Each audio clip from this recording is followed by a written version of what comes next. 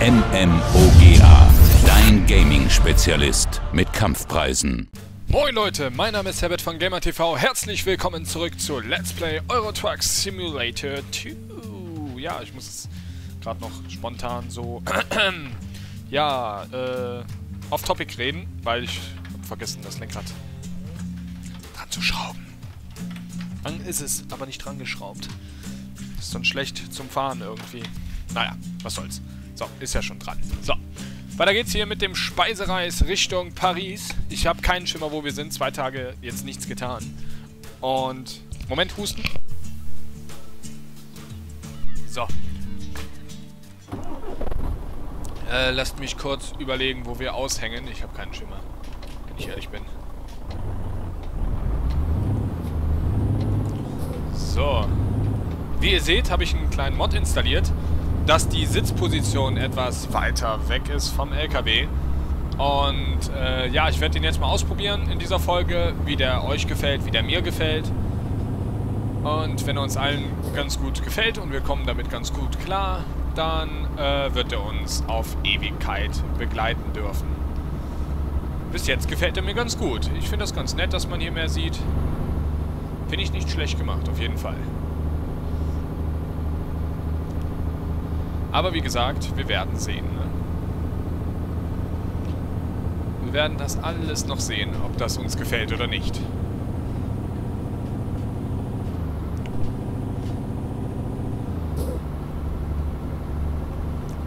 Ach ja, wie ich das Wetter hier vermisst habe. Genau wie gestern war ich in Köln und... Boah, das Pisswetter da... Also auf dem Weg hin war grausam. Ich sag's euch. Es war wirklich am Klatschen wie sonst was. Es war schon nicht mehr schön und ich habe echt gedacht, dass der Tag ins Wasser fällt, aber... Ja, zum Glück ist das Ganze nochmal gut gegangen und es ist nichts passiert. Weder ins Wasser gefallen, noch sonst was. Es ist noch immer gut hier, Jange, ne? Äh, so. Hier müssen wir links rum.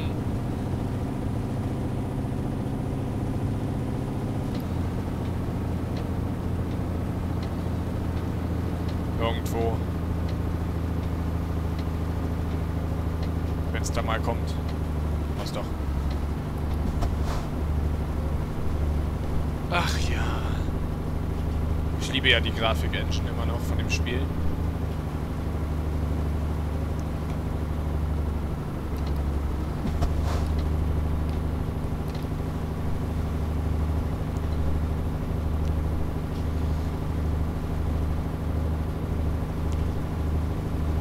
Aber es ist extrem ungewohnt, mit dem Mod zu fahren. Das merke ich schon auf jeden Fall.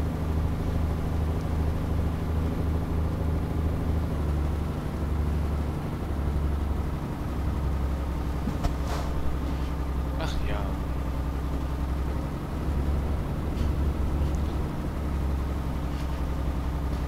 Ja, wie geht's eigentlich euch allen so momentan? Alles fit im Schritt, alles cool in Kabul und ja, ich hoffe, euch allen geht es soweit gut.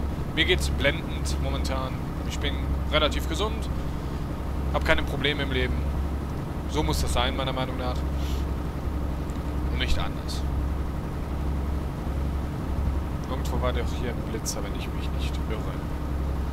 Der wird mich kacken, so schnell wie ich fahre. Ich wette drauf. Obwohl, ich glaube, in dieser Folge werden wir es schaffen, in Paris anzukommen. Wenn ich überlege, wir sind noch in England. Von England aus werden wir dann mit dem Schiff ein paar Kilometer zurücklegen. Und ich bin schon guter Dinge, dass das funktioniert. So, wie sieht es mit dem Sprit aus? Noch 645 Kilometer kommen wir damit. Ausreichend also. Ja, die Ansicht ist wirklich sehr äh, gewöhnungsbedürftig, weil aber auch alles andere kleiner ist. Wie die Anzeigen vorne im Display und so. Alles sehr klein geraten. Haben wir gerade hier am Schreibtisch Licht angemacht.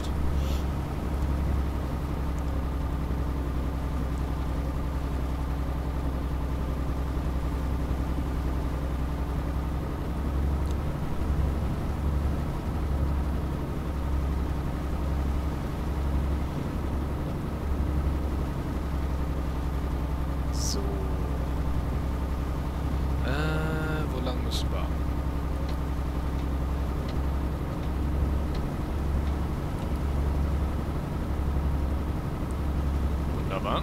Er hält auch frei. Er hält auch sehr nett an. Netterweise zumindest. Ist das ein Pisswetter? Es ist doch echt nicht mehr normal. Ein Pisswetter.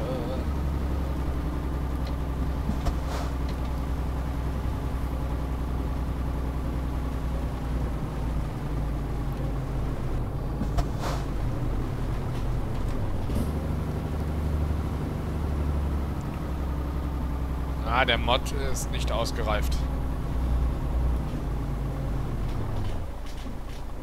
Ja, nächste Folge ist er raus. Der gefällt mir auch nicht wirklich so. Von der Aufmachung her.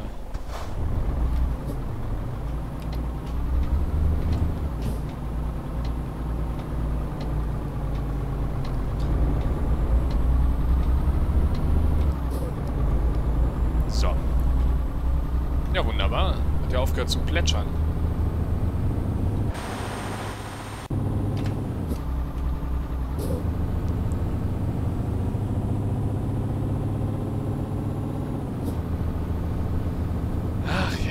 geht es hier wieder auf dieser wunderschönen Landstraße entlang.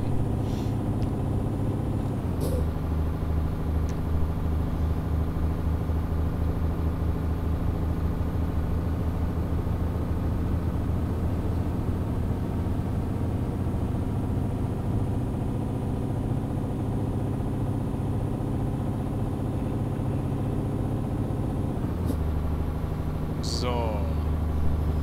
Dann überholen wir doch mal spontan, würde ich sagen. Ja. Hier ist niemand. Dann überholen wir.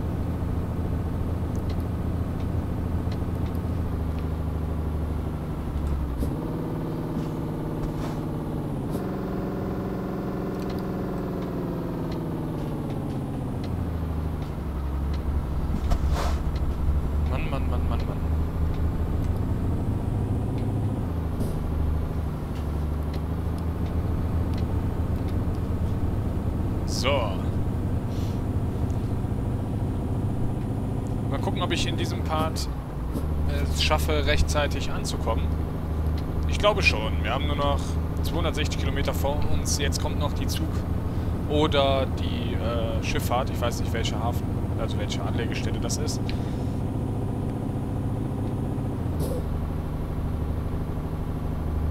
Ich glaube aber, es sieht danach aus, dass es... Wow! Der denn bescheuert? Was ist es? Tunnel. Also Zug. Schade.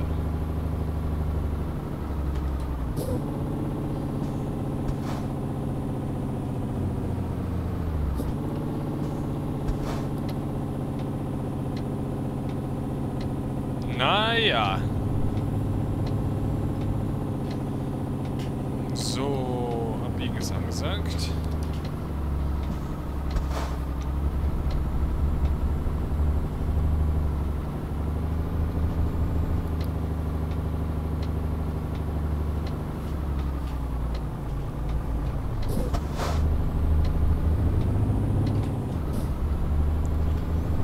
Ach ja.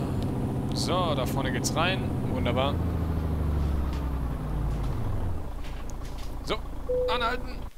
Wunderbar. Aufbrechen. Los geht's. Und, und, und, und, und, und, und, und, und. Wir sind da, wir sind da. Huch.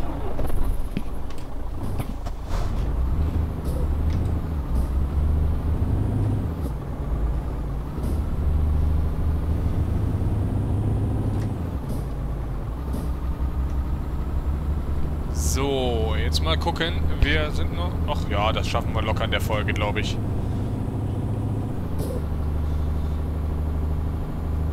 Hoppla.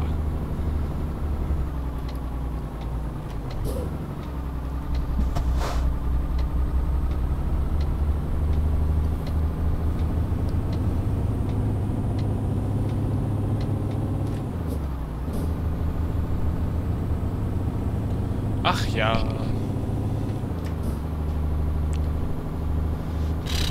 Die Strecke ist dennoch, wenn man das so überlegt, ziemlich weit.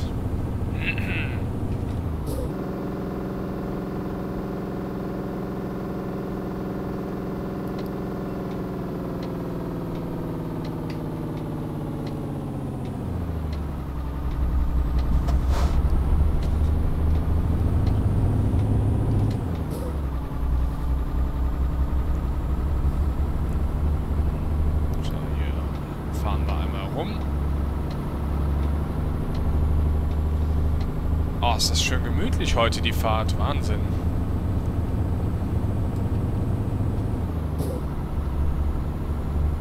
Schlimm, schlimm, schlimm.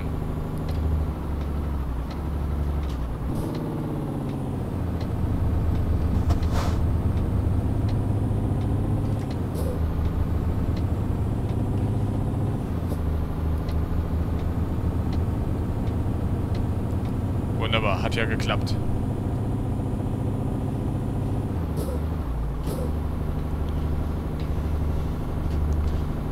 Ach ja.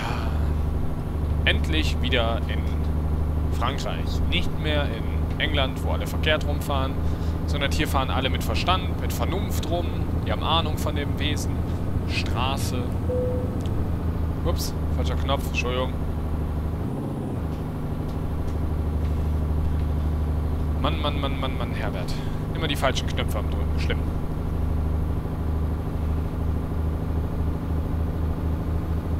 Ähm, ich bin auch dabei, momentan wieder die Thumbnails einzustellen und so. Ist halt a little bit mehr Arbeit als äh, alles andere, aber macht nichts. Ich mach's gerne.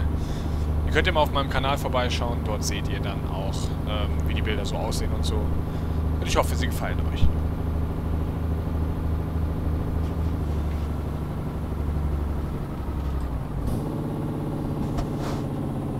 So, runterbremsen hier für die Maut.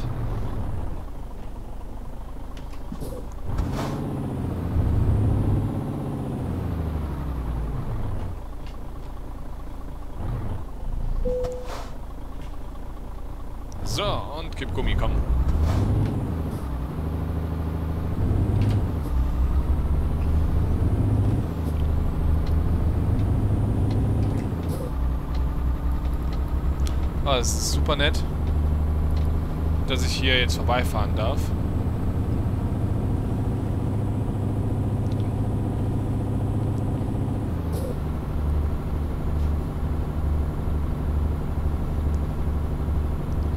So, noch 144 Kilometer, dann haben wir es geschafft. Wahnsinn. Dann ist die Fahrt auch beendet. Und ja, dann mal gucken, ne, was wir so als nächstes nehmen. Vielleicht entscheidet ihr dann mal in den Kommentaren.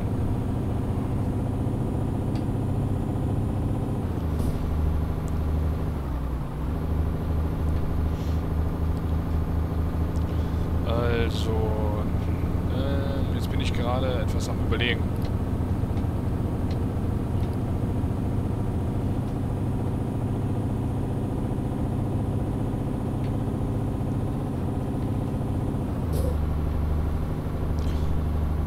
Ja, ja, ich hoffe, ihr habt alle natürlich überlebt. Die kurzen Tage. Übrigens recht, rechts ein Zug, total geil gemacht. Ähm, die letzten zwei Tage hatte ich ja keine Videos, Montag und Dienstag. Aus dem Grunde, dass ich auch ein bisschen Privatleben mir gegönnt habe. Und ja, dafür müsst ihr Verständnis aufbringen. Ist ja nicht mein Hauptberuf hier, was ich hier mache.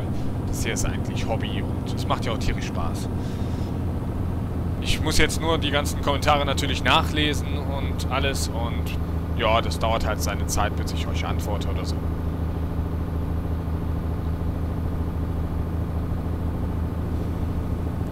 Ja, wie findet ihr eigentlich auch äh, mein aktuelles Hitman Let's Play? Ähm, ich bin von Hitman äh, Absolution begeistert bis jetzt.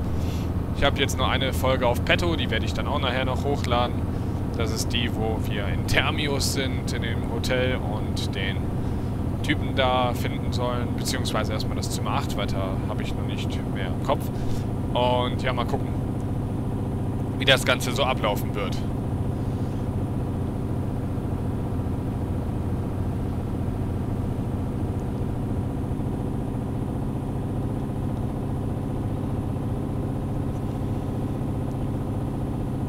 Oh, sind aber relativ schnell unterwegs, dann geht's eigentlich. 120 km/h. Brauchen wir ja nicht mehr so lange, bis wir angekommen sind, glaube ich. Ne, dürfte jetzt relativ schnell gehen. Erstmal Licht aus, das brauchen wir momentan nicht.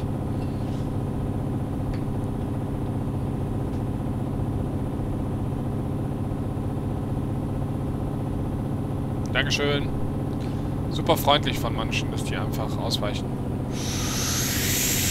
Oh mein Gott, war das schnell. Ich weiß nicht, mit wie viel kmh wir gerade um die Kurve gezogen sind, aber es war ordentlich.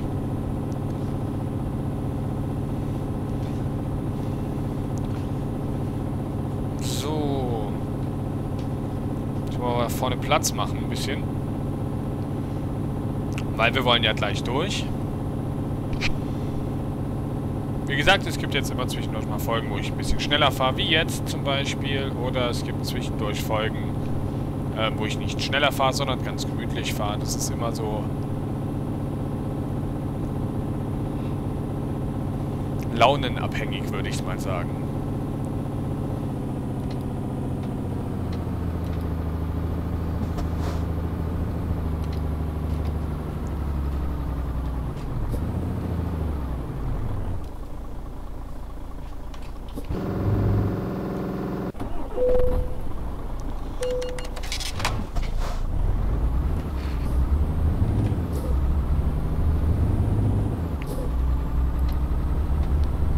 So, dann haben wir ja wieder freie Bahn, wie ich sehe.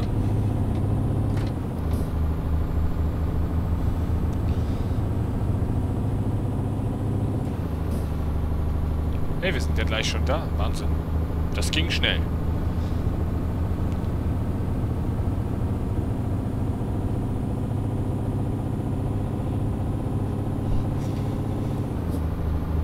So, wir sind in Paris gleich.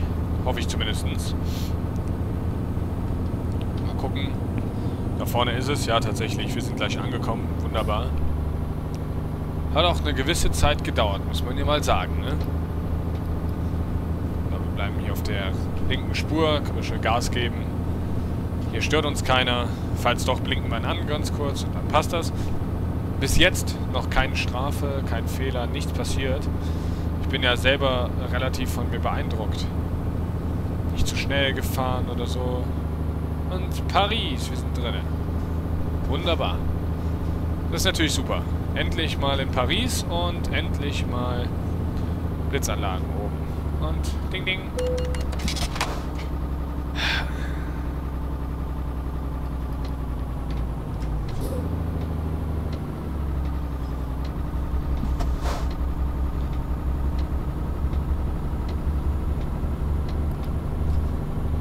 Ach ja, ich hasse Blitzer. Ich hasse sie so dermaßen.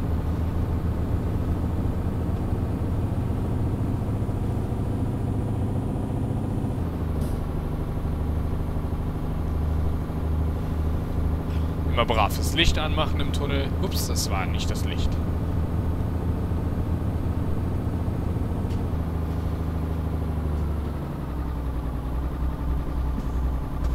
Ich war brav. Brav den Blinker. Äh, den...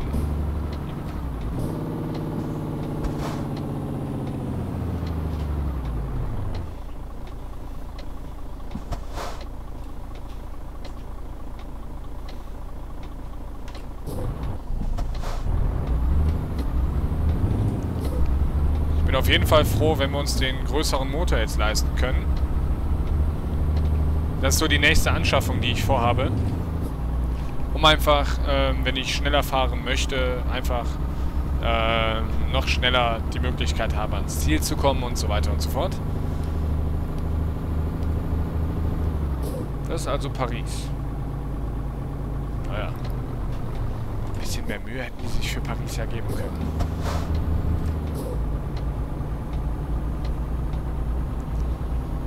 Ach ja, endlich mal abliefern hier.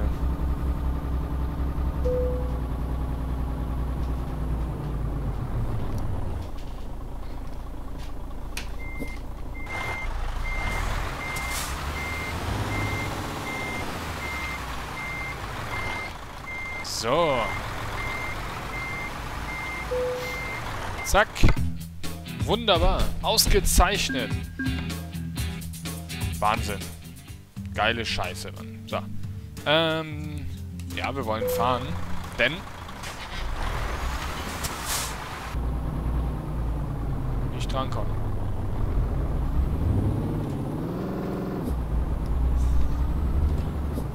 So, wo ist die nächste Reparaturwerkstatt, beziehungsweise...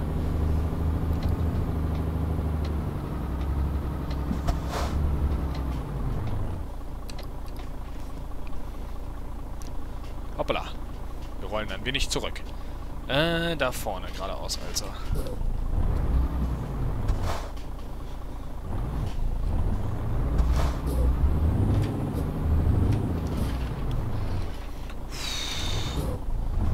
Abbiegen. Das habe ich natürlich nicht gesehen, aber macht ja nichts. Ist ja nicht so schlimm.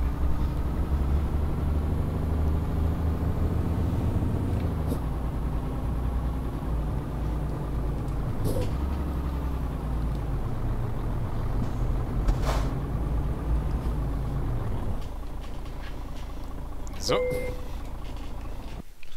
Ähm, Wartung dürfte alles soweit okay sein, außer vielleicht die Reifen, genau. Die repariere ich jetzt aber nicht. Aufrüstung, ja, genau. Und der Motor bitte. Nein, erst ab Level 14 ist der nächste. Fuck. Okay, dann halt noch nicht. Was der kosten wird, weiß ich auch noch nicht, aber das sehen wir dann irgendwann. Äh, so, eine Sonnenblende bräuchte ich noch. Die ist uns ja irgendwie abhanden gekommen.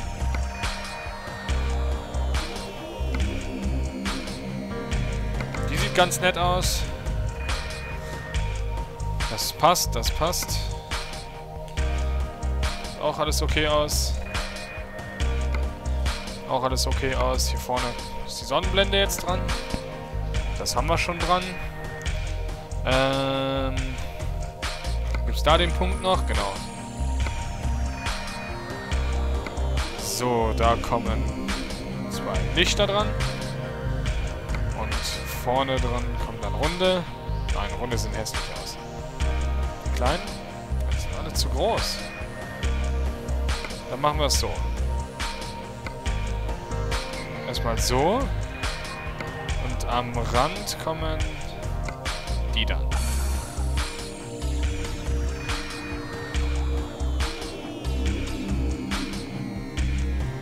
Das sieht gut aus, ja. So können wir es lassen. Äh, so. Das passt, das passt. Das will ich nicht. Lackierung möchte ich jetzt gerne mal ändern. Äh... Okay, das geht anscheinend noch nicht hier. So, die Sachen bestellen wir uns dann schon mal. Und Lackierer. Ich hätte gerne meine Farbe, die ich jetzt die ganze Zeit haben wollte, nämlich diese. Und es ist egal, was es kostet. Die nehme ich jetzt. So, wunderbar. Und Leute, wie findet ihr ihn? Ich finde ihn total geil. Äh...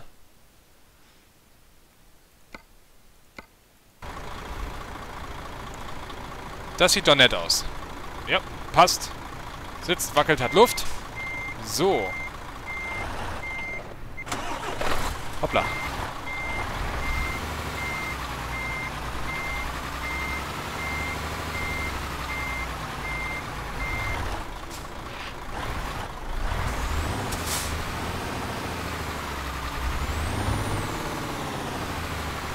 So, und dann parken wir hier vorne.